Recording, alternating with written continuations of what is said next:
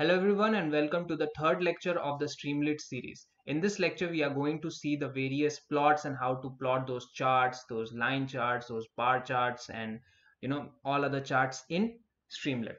So we will be using matplotlib for uh, we will be also plotting the matplotlib part okay. So I need to do the certain imports. So first Streamlit Streamlit as st I also need numpy so import numpy as np I also need pandas so import pandas as pd and lastly I need to import the matplotlib. So matplotlib.pyplot plot as plt once you are done with all of this I need to go and open the command shell and then run this particular uh, file. So first I need to go to the datum folder then I need to go to the streamlit folder then I also need to go to the video code folder and then I'm going to pass streamlit run and then what the lecture is. So lecture is 3 so I'm going to hit enter. As you can see we have our blank canvas. Now what I need to do is first thing I need to do is have a data frame. So I'm going to say pd.data frame frame and I'm going to have some random numbers. So random.randn and let me just keep it to 10 comma 2 and my column names are I'm also going to give some column names. So columns is equals to I'm going to have two of them. I'm going to say prices and then let's say diff difference. So if you are going to you know print this data frame you can easily print it using st.write or st.write or st. let's say table or you can also use st.data frame and then print print the df i'm not going to do all of that. In this video we are going to see how to plot these kind of uh, charts. So the first one is line chart okay? So what is a line chart? Well we will see. So we will say line underscore chart. And basically what i'm going to do is simply pass df okay? So this will plot the entire thing. So i'm going to the file and then hit rerun.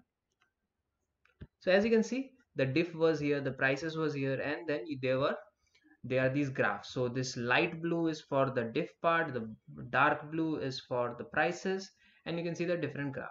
Now what if you just want to plot one of them? Okay? So the way you do it is what you do is go over here itself and then pass some y. So y i'm going to say let me print only the prices. Okay? I'm going to save and then hit rerun. So you can see only the prices. You can see in the left part over here in the y-axis prices is there so this is only the prices. So let's say instead of prices now you want to print diff or the difference. You just go over here go to the browser then you rerun and you can see the difference has been printed and or rather plotted and prices has been omitted. So this was about the line chart. Rest everything almost um, let's say the second one also follows the same pattern. So you will have the area chart okay? So st dot area chart and basically fill or give the df okay uh, you go over here you rerun.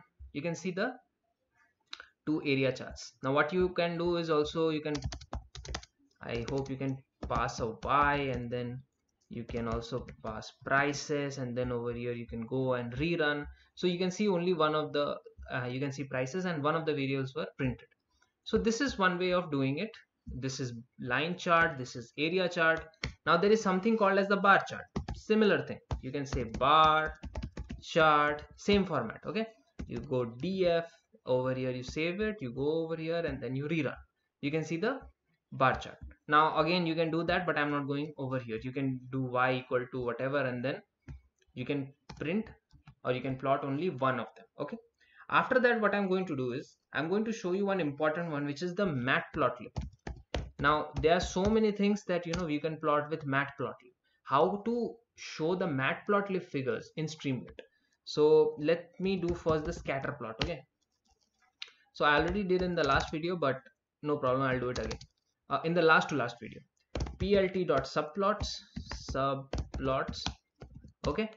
And ax scatter. So we are going to plot the scatter plot and the way i do, do it is so arange let me have 10 numbers. And here also i'll have the same thing but i'll have the squares of this okay so this is the squares. And the way you print it is you just write st dot plot. you use st.pyplot uh, pyplot and then you pass fig okay? You go over here and then you rerun. You can see the plot has has come okay? The x-axis is np dot arange 10 and this one is the squares of that okay? And you can see the graph over here. So this is one way. Now let me go and plot uh, let's say a histogram okay? So i'm going to say ax dot hist hist and instead of that let me have some random normal values okay? So rand let me have um, let's say 100 values. And in the bins I'm going to have let's say 10 values okay? And I'll uh, I'll keep everything the same now you can see a normal distribution has been plotted okay around zero. So this is one way of doing it. So in this video till now we have done this. One more thing is left. So instead of I'm going to comment this now. And after so you can see that you can plot any matplotlib figure okay like that any. I have just done scatter and histogram. You can do any figure okay.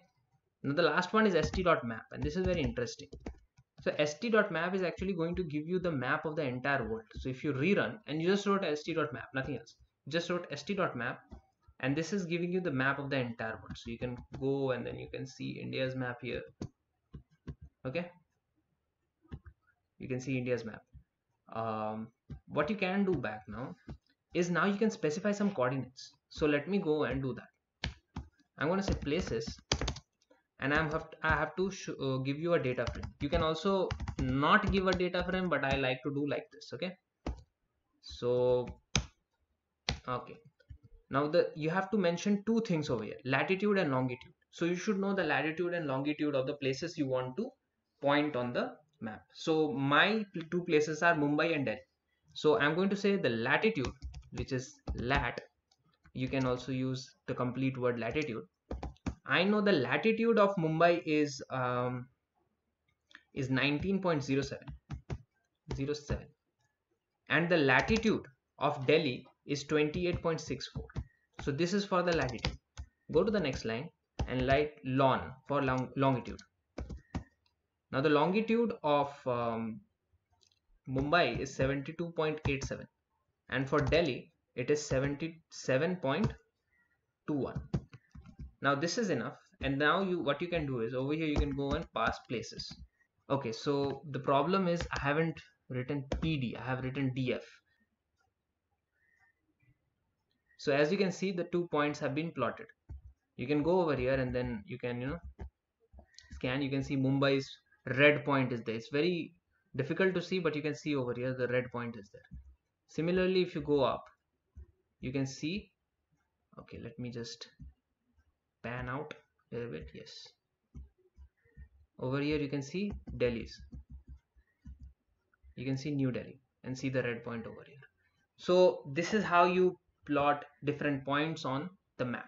So I hope you understood the video. All the code will be in the github. The link is in the description. Thank you and bye